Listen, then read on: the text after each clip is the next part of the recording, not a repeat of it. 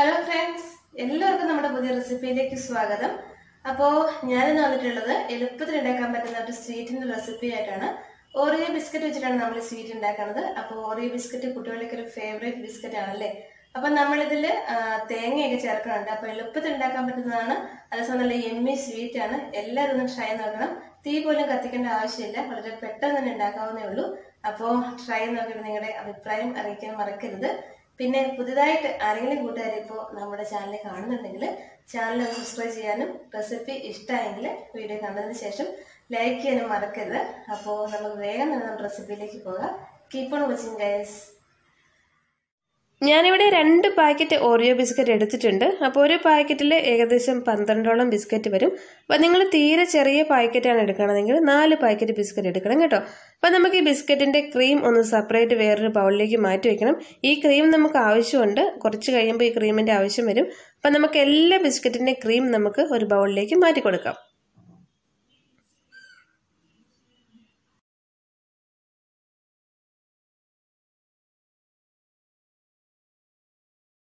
ഇപ്പോൾ ആ ബിസ്ക്കറ്റിന്റെ ക്രീം എല്ലാം മാറ്റി എടുത്തിട്ടുണ്ട് ഇനി നമുക്ക് ബിസ്ക്കറ്റ് ചെറുതായിട്ടൊന്ന് ഒടിച്ചൊടിച്ചിട്ട് കൊടുക്കണം. അപ്പോൾ ആദ്യമായിട്ട് കുട്ടികൾ ആരെങ്കിലും ഈ ഒരു പാചക പരീക്ഷണം നടത്തുന്നുണ്ടെങ്കിൽ മമ്മിയുടെ കയ്യിൽ നിന്ന് വഴക്ക് കിട്ടണ്ട. കാരണം എല്ലാ ബിസ്ക്കറ്റും ഒരുമിച്ച് മിക്സിയുടെ ജാറിലിട്ട് പൊടിച്ചിട്ടുണ്ടെങ്കിൽ മിക്സിയുടെ ജാറിന്റെ ആ ഒരു ബ്ലേഡിന് കംപ്ലൈന്റ് വരാനുള്ള ചാൻസ് ഉണ്ട്. അപ്പോൾ ഇതുപോലെ ചെറുതായിട്ട് വലിയ വലിയ പീസൊക്കെ ഒന്ന് ഒടിച്ചിട്ട് കൊടുക്കുക കേട്ടോ. പിന്നെ മിക്സിയിൽ അടിച്ചെടുക്കുമ്പോൾ നല്ല ഫൈൻ പൗഡറായിട്ട് വേണം പൊടിച്ചെടുക്കാനായിട്ട് നന്നായിട്ട് പൊടിച്ചെടുക്കണം. അപ്പോൾ ഞാൻ ഈ ബിസ്ക്കറ്റ് എല്ലാം ഒന്ന് പൊടിച്ചെടുത്തിട്ട് വരാം. ഇപ്പോൾ ബിസ്ക്കറ്റ് നന്നായിട്ട് പൊടിച്ചെടുത്തിട്ടുണ്ട്. എന്താ ഇതുപോലെ വേണം പൊടിച്ചെടുക്കാനായിട്ട്. അപ്പോൾ നമുക്കിതൊരു ബൗളിലേക്ക് മാറ്റി കൊടുക്കാം. അപ്പോൾ രണ്ട് പാക്കറ്റ് ബിസ്ക്കറ്റ് പൊടിച്ചെടുത്തപ്പോൾ അത് ഇത്രത്തോളം കിട്ടിയിട്ടുണ്ട്. അപ്പോൾ വീട്ടിലെ മെമ്പേഴ്സ് കൂടുതലുള്ളവർ കുറച്ചുകൂടെ ബിസ്ക്കറ്റിന്റെ അളവ് കൂട്ടിയെടുക്കണം കേട്ടോ.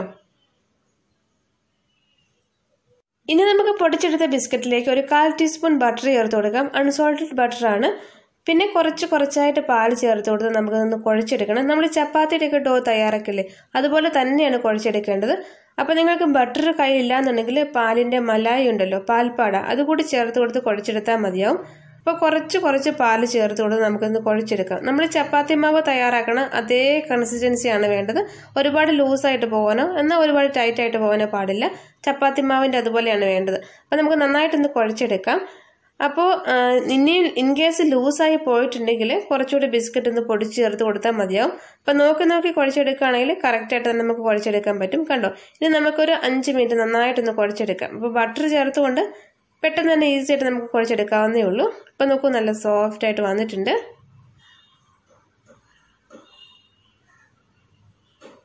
ഇപ്പം ഡോ നല്ല സോഫ്റ്റ് ആയിട്ട് വന്നിട്ടുണ്ട്. നമുക്ക് ഇതെങ്ങോട്ട് മാറ്റി വയ്ക്കാം ഇനി നമ്മൾ നേരത്തെ മാറ്റി വെച്ച നമ്മുടെ ബിസ്ക്കറ്റിന്റെ ക്രീം ഉണ്ടല്ലോ അതിലേക്ക് നമുക്ക് കുറച്ച് തേങ്ങ ചേർത്ത് കൊടുക്കാം. ഞാനിവിടെ ഡെസിക്കറേറ്റ് കോക്കനട്ട് ആണ് ചേർത്ത് കൊടുക്കുന്നത്. എല്ലാ സൂപ്പർ മാർക്കറ്റിലും വാങ്ങാൻ കിട്ടും. അപ്പോൾ അതില്ലാന്നുണ്ടെങ്കിൽ വീട്ടിലെ സാധാരണ തേങ്ങ ചിരവി എടുത്ത് ചേർത്താലും മതി. ഇനി നമുക്ക് ക്രീമിലേക്ക് ഒരു കാൽ ടീസ്പൂൺ പാൽ ചേർത്ത് കൊടുക്കാം. പാലിന്റെ അളവ് കൂടി പോകരുത് കേട്ടോ. കാരണം ക്രീം ഒരുപാട് ലൂസ് ആയിട്ട് പോകും അപ്പോൾ നമുക്ക് ജസ്റ്റ് ആ തേങ്ങയായിട്ടൊന്ന് മിക്സ് ആകാൻ വേണ്ടി മാത്രമാണ് പാൽ ചേർത്ത് കൊടുക്കുന്നത്. അപ്പോൾ തേങ്ങ നിങ്ങളുടെ ഇഷ്ടം അനുസരിച്ച് അളവ് കൂട്ടി ചേർക്കാം. തേങ്ങ ചേർത്ത് കൊടുക്കുന്ന ഒരു നല്ല ടേസ്റ്റാണ് നന്നായിട്ടൊന്ന് കുഴച്ചെടുക്കാം. ഇപ്പം ഞാനിവിടെ കുറച്ച് ബട്ടർ എടുത്തിട്ടുണ്ട്. അപ്പം ഞാനൊരു മോൾഡ് വെച്ചിട്ടാണ് നമ്മൾ ഇന്ന് സ്വീറ്റ് ഉണ്ടാക്കുന്നത്. അപ്പം നിങ്ങൾക്ക് ഇഷ്ടമുള്ള ഏത് ഷേപ്പിലും ഉണ്ടാക്കാവുന്നുണ്ട് പക്ഷേ ഒരു മോൾഡ് വെച്ചിട്ടാവുമ്പോൾ കുട്ടികൾക്ക് കാണുമ്പോൾ കഴിക്കാൻ ഒരു അട്രാക്ഷൻ തോന്നും. അപ്പോൾ നമുക്കിതിന്റെ ഉള്ളിലായിട്ട് കുറച്ച് ബട്ടർ അതിനെ നെയ്യ് ഒന്ന് പുരട്ടി കൊടുക്കാം. ഒട്ടിപ്പിടിക്കാണ്ടിരിക്കാൻ വേണ്ടിയിട്ടാണ്. ആക്ച്വലി ഞാൻ ഈ മോദക് മേക്കർ വെച്ചിട്ട് നമ്മുടെ കൊഴുക്കട്ടയ്ക്കുള്ളിലേക്ക് ചിക്കനൊക്കെ ഫില്ല് ചെയ്ത് വെച്ചിട്ടുണ്ടാക്കാറുണ്ട് അതിനുവേണ്ടി യൂസ് ചെയ്യുന്ന ഒരു മോദക് മേക്കറാണ് നമ്മൾ ചപ്പാത്തിയൊക്കെ ഉണ്ടാക്കുന്ന ഉരുളേക്കാളും കുറച്ചുകൂടി ചെറിയ ബോൾസ് ആയിട്ട് എടുത്തിട്ട് നമുക്ക് ഈ മോളിലേക്ക് വെച്ച് കൊടുക്കാം. അപ്പോൾ ഒരുപാട് ഓവർ ടൈറ്റ് ആയിട്ട് വെച്ച് കൊടുക്കരുത്. ഞാനിപ്പോൾ എടുത്തത് കുറച്ച് കൂടിപ്പോയി. അപ്പോൾ ഒരു മുക്കാൽ ഭാഗം ഫില്ല് ചെയ്താൽ മതി. അതിനുശേഷം ഒരു വിരൽ വെച്ച് നമ്മുടെ ആ നടുക്കൊരു സ്പേസ് കൊടുക്കുക കണ്ടോ? ഈ ഒരു സ്പേസിലേക്ക് നമ്മൾ നേരത്തെ എടുത്ത് വെച്ച് നമ്മുടെ ആ ഒരു ബിസ്ക്കറ്റിന്റെ വൈറ്റ് ക്രീം വെച്ച് കൊടുക്കുക. അപ്പോൾ ക്രീം ഒരുപാട് ഫില്ല് ചെയ്യേണ്ട. നമുക്ക് കഴിക്കാൻ ഒരു മടുപ്പ് പോലെ തോന്നും. അപ്പോൾ ഒരു മുക്കാൽ ഭാഗം ക്രീം ഫില്ല് ചെയ്താൽ മതി. അതിനുശേഷം നമുക്ക് മുകളിൽ ഒന്നുകൂടെ ഒന്ന് ടൈറ്റ് ചെയ്ത് വെച്ച് കൊടുക്കുക. ഒന്നുകിൽ കൈ വെച്ചിട്ട് നമ്മുടെ കൈയുടെ പാം വെച്ചിട്ട് നന്നായിട്ട് ടൈറ്റ് ചെയ്ത് കൊടുക്കുക. അതല്ലെങ്കിൽ ഒരു സ്പൂൺ വെച്ചിട്ട് മുകളിലായിട്ട് നന്നായിട്ടൊന്ന് പ്രസ് ചെയ്ത് കൊടുത്താൽ മതിയാവും. ഇപ്പോൾ നമുക്കൊന്ന് ഓപ്പൺ ചെയ്യാം. ഇപ്പം നോക്കൂ കറക്റ്റ് ആ ഒരു മോൾഡിന്റെ ഷേപ്പ് വന്നിട്ടുണ്ട്. അപ്പോൾ കുട്ടികൾക്ക് കഴിക്കാൻ ഒരുപാട് ഇഷ്ടമുള്ളൊരു എമ്മി സ്വീറ്റാണ് നമുക്കതൊരു പ്ലേറ്റിലേക്ക് മാറ്റി വയ്ക്കാം അപ്പോൾ ഒരു തവണ കൂടി ഞാനൊന്ന് കാണിച്ചു തരാം. നമ്മൾ ചെറിയ ബോൾസ് ആക്കി എടുത്തതിന് ശേഷം ഈ ഒരു മോളിലേക്ക് വെച്ച് കൊടുക്കുക. നടുവിലായിട്ട് നമ്മുടെ കൈയുടെ വിരൽ വെച്ചിട്ട് ഒരു സ്പേസ് കൊടുക്കുക. ആ ഒരു സ്പേസിലേക്ക് നമ്മൾ നേരത്തെ റെഡിയാക്കി എടുത്ത ആ ഒരു ബിസ്ക്കറ്റിന്റെ വൈറ്റ് ക്രീം വെച്ച് കൊടുക്കുക. മുകളിലായിട്ട് ഒന്നുകൂടി ഒന്ന് ടൈറ്റ് ചെയ്ത് കൊടുക്കുക. അപ്പോൾ നമ്മൾ ഈ ഒരു മോൾഡ് നമ്മുടെ കൈ വെച്ച് ടൈറ്റായിട്ട് പിടിക്കണം. എങ്കിൽ മാത്രമേ കറക്റ്റ് ആ ഒരു ഷേപ്പ് കിട്ടുള്ളൂ കേട്ടോ. ഇപ്പം നോക്കൂ നമ്മുടെ മോദക് റെഡി ആയിട്ടുണ്ട്.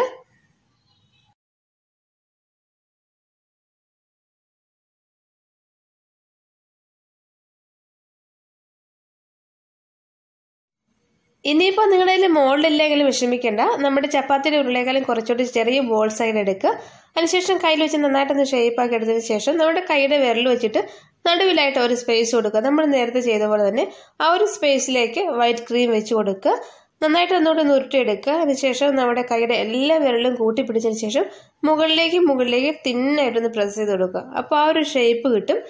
അപ്പോൾ നന്നായിട്ട് ഷേപ്പാക്കി എടുത്തതിന് ശേഷം ടൂത്ത് പിക്കോ അല്ലെങ്കിൽ ഫോർക്കോ പിന്നെ പപ്പടം കുത്തിയോ എന്തെങ്കിലും വെച്ച് കൊടുത്തതിന് ശേഷം കറക്റ്റ് ആ ഒരു ഡിസൈൻ കൊടുക്കുക. അപ്പോൾ നിങ്ങൾക്ക് ഇഷ്ടമുള്ള ഏത് ഡിസൈനും കൊടുക്കാവുന്നതാണ് കേട്ടോ. അപ്പോൾ ഞാൻ ആ ഒരു ടൂത്ത് പിക്ക് വെച്ച് കൊടുത്തിട്ട് കറക്റ്റായിട്ട് ആ ഒരു ഷേപ്പ് കൊടുക്കുന്നുണ്ട്. ടൂത്ത് പിക്ക് ആകുമ്പോൾ കുറച്ചുകൂടി ഈസിയാണ് ചെയ്യാനായിട്ട്. അപ്പോൾ ഏകദേശം ആ ഒരു ഷേപ്പ് വന്നിട്ടുണ്ട്. അപ്പോൾ ഞാൻ ടൂത്ത് പിക്ക് വെച്ച് കൊടുത്ത് നന്നായിട്ട് പ്രസ് ചെയ്ത് കൊടുത്തിട്ടുണ്ട്. അപ്പോൾ നമുക്കൊരു പ്ലേറ്റിലേക്ക് മാറ്റി വയ്ക്കാം.